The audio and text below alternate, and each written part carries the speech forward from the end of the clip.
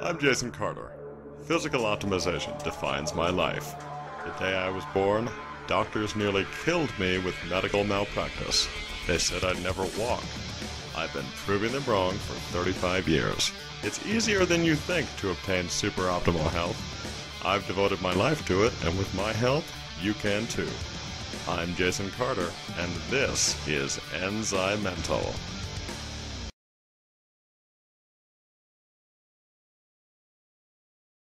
And welcome to Enzymental. I'm Jason Carter, and today I wanted to tell you guys about quercetin. So, quercetin is a bioflavonoid that has antihistamine, anti inflammatory, and antioxidant properties. You find it primarily in plant foods, especially in red and yellow onions, apple skins, red grape skins, and many kinds of berries, but also citrus fruits like grapefruit, buckwheat, tea, and even red wine. Quercetin has also been shown to have antiviral and antifungal properties, which have been attributed mainly to its antioxidant characteristics.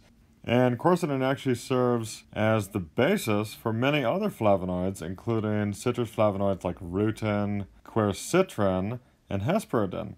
These other bioflavonoids differ from quercetin in that they have sugar molecules attached to the quercetin backbone. Quercetin is consistently the most active of the flavonoids in experimental studies, and there are quite a few medicinal plants that owe much of their activity to their high quercetin content. So, quercetin works especially good as an inflammation modulator because of its direct inhibition of several initial processes of inflammation. So, for example, it inhibits both the manufacture and release of histamine and other allergic or inflammatory markers. In addition, quercetin exerts potent antioxidant activity and works well with vitamin C. There's an enzyme that is responsible for the conversion of glucose to sorbitol. It's called aldose reductase, and quercetin is actually a strong inhibitor of this. And why this is important is aldose reductase is an enzyme that is strongly implicated in the development of diabetic conditions like diabetic cataracts, neuropathy, and retinopathy. Okay, so first of all, to understand quercetin, you need to understand what flavonoids are. Flavonoids are a group of plant pigments that are largely responsible for the colors of most fruits and flowers.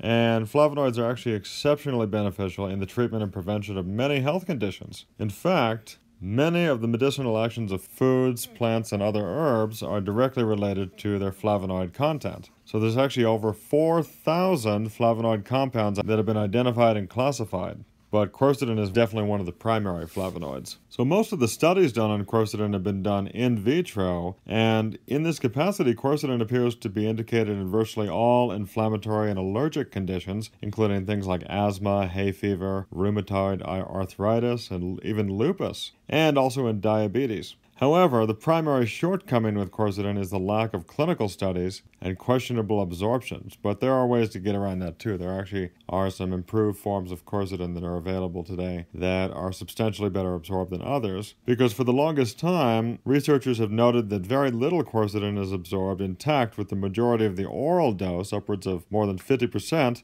being excreted. So, one of the main problems in studying the absorption of quercetin and other flavonoids is their breakdown by the bacteria in the colon. So, one of the best absorbed forms that I've seen in the last several years is one that's known as EMIQ quercetin, which stands for enzymatically modified isoquercetin. And this form is readily available now in most health food stores, and it's at least 40 times better absorbed than regular quercetin. So, you can get quercetin in powder and capsule form and it's powerful enough on its own, but when you pair it with the pineapple enzyme bromelain, that actually enhances its function quite a bit. So bromelain itself exhibits anti-allergy and anti-inflammatory activity on its own, and also enhances the absorption of quercetin. So taking them together is quite beneficial. And often when you find them together, it's usually a one-to-one ratio or an equal proportion of each bromelain to quercetin.